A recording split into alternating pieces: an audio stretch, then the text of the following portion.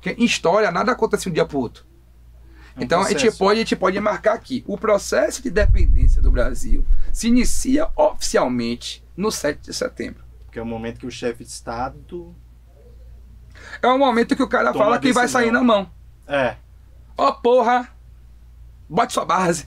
tá ligado? Você tem condições de sair na mão Virou comigo? É, que hora que, que, que hora que foi que brigou? Brigou no 7 de setembro, certo? Esse processo vai ter um outro acontecimento marcante, que é o encerramento dele. Que é a expulsão das últimas tropas portuguesas do Brasil. As últimas po- tropas portuguesas do Brasil saem da onde? De Salvador. Em casa os caras Quando? mandaram. 2 de julho.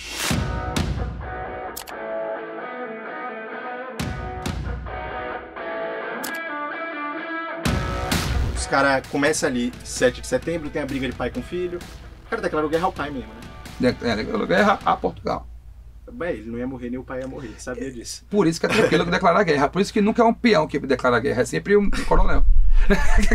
E aí, e aí os portugueses falam o quê? Falam, vamos tentar retomar o Brasil a partir de Salvador? Não, os Era portugueses fazem o seguinte: as cortes portuguesas reagem ao, ao pedido de independência do Brasil na perspectiva de o Brasil pode até ficar independente.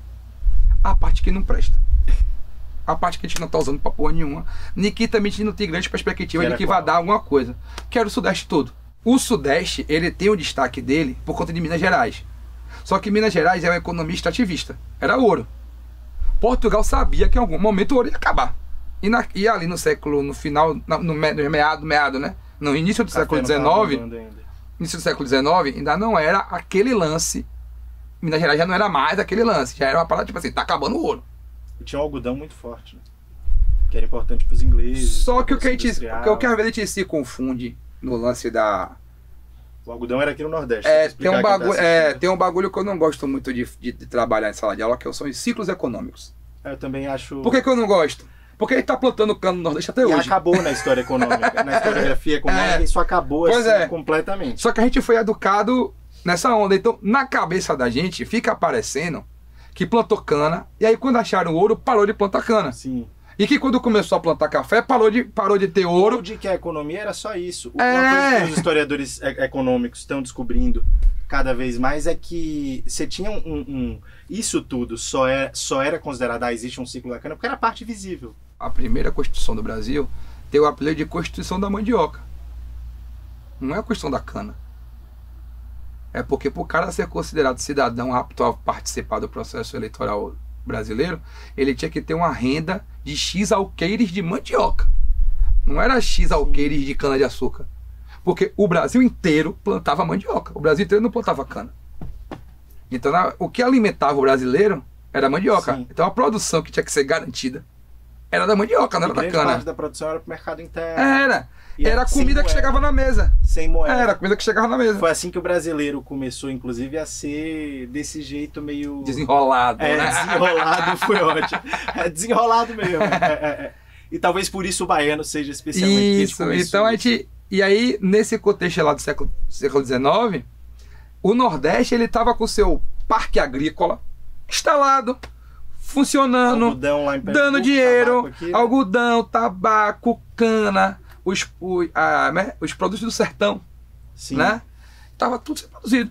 Couro, Então, e de- e Tinha a um- aqui já era mais receptiva. tinha a um porto, um porto fortíssimo no Ceará, né?